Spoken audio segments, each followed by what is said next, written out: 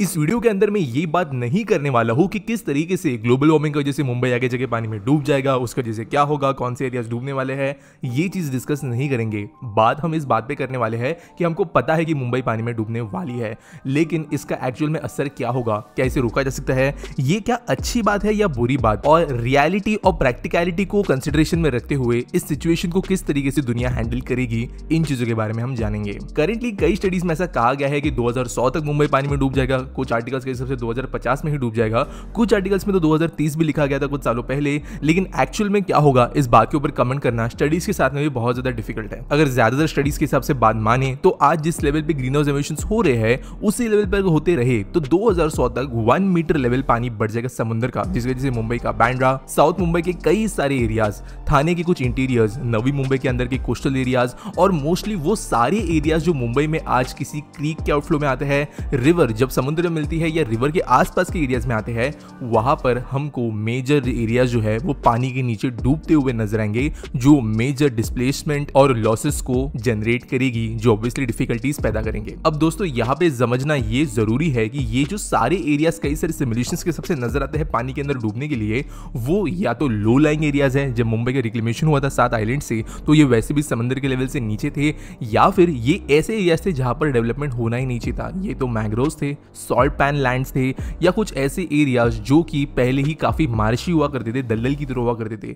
और ये एरियाज़ आज भी बिना सी लेवल राइस के भी बहुत ज़्यादा प्रोन है फ्लडिंग को छोटी सी बारिश में भी इन एरियाज़ के अंदर पानी भरता है और बड़ी बारिश के अंदर यहाँ पर हर साल नुकसान भी देखने के लिए मिलता है तो ये बात तो क्लियर हो गई कि मुंबई के अंदर पानी कई एरियाज़ के अंदर परमानेंटली घुसने का खतरा है और अब समझते हैं कि जब ये होगा तब क्या होने वाला है सबसे पहले ये बात कर लेते हैं कि ज़्यादातर मीडिया जब इसके बारे में बात करती है तो इस सिनेरियो को इस तरीके से प्रेजेंट किया जाता है कि किसी एक दिन अचानक कोई सुनामी जैसी लहर आएगी, सब कुछ एक दिन में डूब जाएगा, बिल्डिंग्स गिर जाएँगे, लोगों को अचानक से रिहेबिलिटेट करने की ज़रूरत होगी, एक दिन जो अच्छे खासे चल रहे बिज़नेस है, वो दूसरे दिन से फ़ंक्शन नहीं कर पाएँगे, और काइंड ऑफ़ ऐसा डूम्स डे सिनेरियो जो है, ज़्यादातर आर्टिकल्स के अंदर प्रेजेंट किया जाता है। लेकिन एक बात हमें समझना ज़रूरी है कि ये सब जो हो रहा है, वो एटलीस्ट सौ ईयर्स की टाइमलाइन के साथ में धीरे धीरे हो रहा है, और ईयर ऑन ईयर अगर चीज़ें बहुत बदतर ही चलती रही एमिशंस के हिसाब से तो कुछ कुछ सेंटीमीटर्स का राइज ही हम, हमें हर साल देखने के लिए मिलेगा, जो ऑब्वियसली एक काफ़ी स्लो प्रोसेस है। जो लोग ऐसे एरियाज़ में रहते हैं, वो ग्रेजुअली रियलिटी को देखने के लिए समय ले सकते हैं। फिर चाहे वो कोई प्राइवेटली ओन प्रॉपर्टी हो गवर्नमेंटल इंफ्रा हो, या फिर कोई बिज़नेस और क्योंकि इतना लंबा टाइमलाइन कई सारे लोगों को मिल रहा है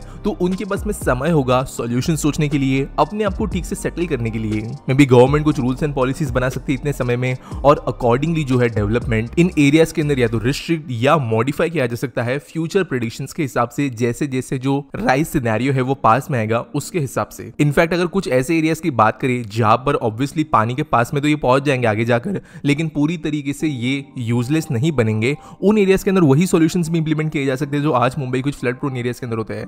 कई सालों से जहाँ पर मुंबई फ्लड आ रही है, वहाँ पर अगर आप जाके देखते हो तो मेजरली इंफ्रा जो है मॉडिफाई हो चुका है। यहाँ के सीवेज सिस्टम्स बहुत अलग है। यहाँ पर ड्रेनेज के लिए जो है होल्डिंग टैंक्स बनाए गए हैं। बिल्डिंग्स अगर आपको देखेंगे, आपको ग्राउंड फ्लोर कहीं पर नज़र नहीं आएगा। और ऐसे सिमिलर चीज़ें जो है, आने वाले कई सालों के अंदर ऐसे जगहों पर भी की जा सकती है, जहाँ पर सी लेवल राइज की वजह से दिक्कतें देखने के लिए मिलेगी।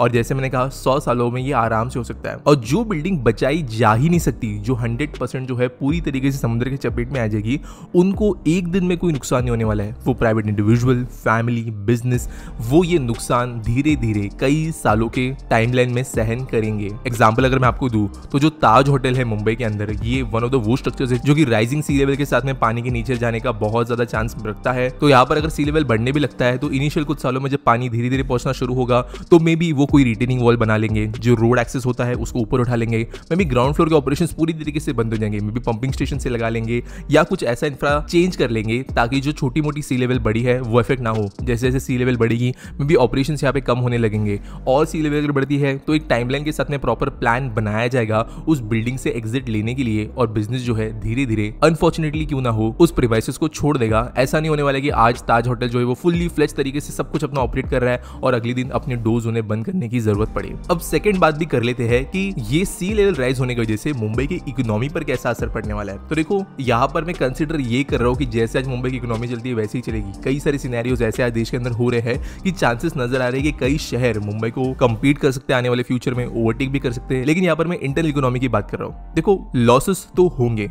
कई सारे फिशरमैन कोस्ट डिपेंडेंट बिज़नेस पे जो लोग निर्भर करते हैं और आज कोस्ट के पास में रहते हैं, इनका नुकसान तो हंड्रेड परसेंट होने वाला है। लेकिन पिछले सिनेरियो की तरह ये भी एक दिन के अंदर होने वाला नुकसान नहीं होगा, ये भी एक ग्रेजुअल चेंज होगा। लेकिन एट द सेम टाइम जैसे जैसे कोस्ट इंटीरियर्स की तरफ़ बढ़ता है तो कोस्ट लाइन जो है बढ़ने के लिए शुरू होगी। इसके कारण जो एरियाज़ पहले काफ़ी ज़्यादा इंलैंड में आते थे, वो बहुत ज़्यादा पास आ जाएँगे कोस्ट के, जिसकी वजह से यहाँ पर अलाइड इकोनॉमिक एक्टिविटीज़ बढ़ सकती है। जो पोर्ट्स है, ये ज़्यादा अपने आप डीप वाटर पोर्ट्स बन जाएँगे, जहाँ पर यहाँ पे बड़े शिप्स को ले आने की कैपेसिटी बढ़ेगी। कुछ ट्रांसपोर्टेशन एक्टिविटीज़ जो पानी के ऊपर डिपेंड करती है इनलैंड तक जाने के लिए, वो बेहतर तरीके से ऑपरेट हो पाएगी। रियल इस्टेट के अंदर हमें मेजर चेंजेस देखने के लिए मिलेंगे। और जो इतना ज़्यादा आप कह सकते हो एक जगह से दूसरे जगह पे लोगों का शिफ्टिंग होगा 20, 25, 30, 40 या 50 साल के भी टाइमलाइन में वो इन इनलैंड्स को अंदर जाके मदद कराएगा। Basically development potential inland areas का ज़्यादा बढ़ने लगेगा, क्योंकि कोस्ट जो है, वो अपना डेवलपमेंट पोटेंशियल खो रहा है और लोगों को कहीं ना कहीं तो जाना है। सिंपल भाषा में, अंदर की साइड में ज़्यादा डेवलपमेंट होना शुरू होगा, क्योंकि लोग अंदर की तरफ़ खिसकना शुरू कर देंगे। दोस्तों एनवायरमेंट एक ऐसी चीज़ है, जिसको ऑब्वियसली प्रोटेक्ट करना बहुत ज़रूरी है। जितने हो सके उतने मेजर्स हमें लेने चाहिए और प्रैक्टिकल लॉजिकल सोल्यूशन के ज़रिए जो चीज़ें एनवायरमेंट को दिक्कत पहुँचा रही है, उनको या तो क्लीनर चीज़ों से रिप्लेस करना चाहिए या बेहतर ऑल्टरनेटिव ढूंढना ज़रूरी है। लेकिन एक ब्रूड फ्रोस अप्रोच सारी चीज़ों को बंद करते हुए, सारी चीज़ों को इग्नोर करते हुए, हज़ारों लोगों की डिपेंडेंसी चीज़ों के ऊपर देखते हुए बंद करना ज़्यादातर मीडिया के अंदर बताया जाता है, जो कि लॉन्ग टर्म में प्रैक्टिकल नहीं है और इनफैक्ट ज़्यादा इकोनॉमिक डेवेस्टेशन वो क्रिएट कर सकता है बहुत कम टाइम फ्रेम में और इसलिए एनवायरमेंट को समझना ज़्यादा ज़रूरी है। और अकॉर्डिंगली इंसान और नेचर को साथ में चलना ज़रूरी है। सिमिलर चीज़ें आप जान सकते हो। The history of Amazon rainforest in Hindi इस ऑडियो बुक के साथ, जो आपको सुनने मिलेगा कोको एफ़ के ऊपर, जो इंडिया का लीडिंग ऑडियो शो प्लेटफॉर्म है, जहाँ पर दस हज़ार से ज़्यादा ऑडियो कंटेंट आपको सुनने के लिए मिलेगा। वो भी कई सारी भाषाओं में जॉनराज में, जो आपके समय को ज़्यादा प्रोडक्टिव बनाएगा। और सबसे इंटरेस्टिंग बात यह है कि करेंटली कोको एफ़ जो है, आपको अपने प्रीमियम सब्सक्रिप्शन के परचेज पर ना सिर्फ़ फिफ्टी परसेंट का डिस्काउंट दे रहा है, और तीन महीनों के लिए आपको एक्स्ट्रा सब्सक्रिप्शन भी मिलेगा। टीचर्स डे स्पेशल सेल के चलते, जहाँ पर आपको सिर्फ़ लोन फिफ्टी कूपन कोड का इस्तेमाल करना है, इसके प्रीमियम सब्सक्रिप्शन के परचेज के समय, और आपको थ्री का ईयरली सब्सक्रिप्शन सिर्फ़ वन नाइनटी में मिल जाएगा। लेकिन याद रखना है, ये सिर्फ़ और सिर्फ़ फिफ्थ सितंबर तक, यानी आज रात तक ही वैलिड रहेगा। तो अभी डिस्क्रिप्शन में दिए गए लिंक पर क्लिक करें और कुक एफ़ के प्रीमियम सब्सक्रिप्शन को सब्सक्राइब करते समय टीचर्स डे सेल का फ़ायदा उठाना ना भूले। अब आगे ये बात कर लेते हैं कि ये सारे सिनेरियोज होना तय तो है, लेकिन क्या इन चीज़ों को रोका जा सकता है? यहाँ पर फिर से मैं बात करूँगा कई सारी स्टडीज़ की, कई सारे आर्टिकल्स की इनफैक्ट कई वीडियोस की भी, जो इस टॉपिक पर सर्कुलेट हो रहे हैं, ना सिर्फ़ इंडिया के लिए, लेकिन पूरी दुनिया के अलग अलग सिटीज़ और रीजन के लिए। ज़्यादातर ऐसा सिनेरियो दिखाया जाता है कि जब ये चीज़ें होगी, तब लोग जो है, वो हेल्पलेस बैठेंगे, पूरे के पूरे एंड तक, जब तक उनके घरों के अंदर पानी ना घुस जाए। लेकिन हम इंसान जो है, वो टाइम बाय टाइम नेचर को चैलेंज करते हुए आए हैं। कई बार सक्सेसफुल होता है, कई बार नहीं होता है, कई बार एक बैलेंस हमें मिल जाता है। और चाहे एथिकली इस चीज़ को सही समझा जाए या नहीं समझा जाए नेचर से हमें नहीं लड़ना चाहिए, ये सिखाया जाता है। लेकिन अनफॉर्चुनेटली ह्यूमंस जो है, वो अपने बेनिफिट के लिए, अपने प्रॉफिट के लिए, अपने कंट्री को रीजन को और अपने घर को रन करने के लिए इन चीज़ों से ज़रूर लड़ते हुए हमें नज़र आएँगे। अब जैसे मैंने कहा, पहली बात, जो स्टडीज़ आपको इन टॉपिक्स पर मिलेगी, वो इतनी वेरिड है कि आपको तीन से चार गुना डिफरेंस नज़र आता है। कहीं पर आधे मीटर का सी लेवल राइज लिखा गया है, कहीं पर तीन मीटर तक का सी लेवल राइज लिखा गया है सेम रीजन के लिए सेम टाइम सिनेरियो में। कहीं पर जो ग्रीन हाउस एस्टिमेशन है, वो पूरी दुनिया के एवरेज लिए गए हैं। कहीं पर सिर्फ़ और सिर्फ़ इंडिया के पर्टिकुलर रीजन के लिए गए हैं।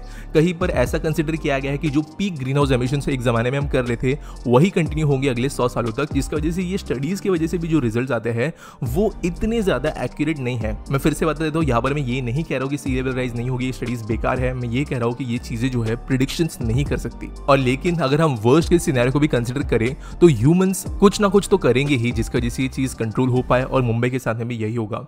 एग्ज़ाम्पल अगर आपको देख तो नेदरलैंड्स ने अपने देश में एम्बैंकमेंट्स और डैम्स बनाकर देश के अंदर पानी को घुसने से रोका और आज इनका बहुत बड़ा एरिया ऐसा है जो एक जमाने में पानी के नीचे हुआ करता था। और ऑलमोस्ट एक सेंचुरी से ये सक्सेसफुली इस चीज़ को कर रहे हैं। पंद्रह साल पहले नेशनल जियोग्राफी पर एक डॉक्यूमेंट्री आई थी, जहाँ पर कहा गया था कि दस साल के अंदर विद गारंटी वेनिस जो सिटी है इटली के अंदर, ये समुद्र में सिंक हो जाएगी, डूब जाएगी क्योंकि ये धस रही है। लेकिन उसके बाद में इंजीनियर्स ने मिलकर कुछ चीज़ें डिज़ाइन की। शहर को जो है नीचे से मज़बूत किया गया। गया कुछ स्ट्रक्चरल चेंजेस शहर के अंदर लाए गए इंफ्रास्ट्रक्चर चेंजेस किए गए, और आज जिस डॉक्यूमेंट्री के हिसाब से दस साल में शहर डूब जाना चाहिए था, वो आज अच्छा खासा चल रहा है और इनफैक्ट ईयर ऑन ईयर यहाँ पे टूरिस्ट की संख्या बढ़ते जा रही है। ये कहने का मतलब ये है कि इंडिया के अंदर हो या दुनिया में कहीं पर भी टेक्नोलॉजी इन चीज़ों को इस्तेमाल करते हुए जो है, हम कोई ना कोई सोल्यूशन ढूंढ लेंगे ही चीज़ों को एक हद तक कंट्रोल करने के लिए। ऑब्वियसली हम हंड्रेड कंट्रोल नहीं कर पाएँगे, जहाँ पर नुकसान होना है, वहाँ पर नुकसान होगा ही। लेकिन मुंबई के अंदर भी आपको रिटर्निंग वॉल्स बनते हुए नज़र आएगी, कई जगहों पर डैम्स बनते हुए नज़र आएँगे,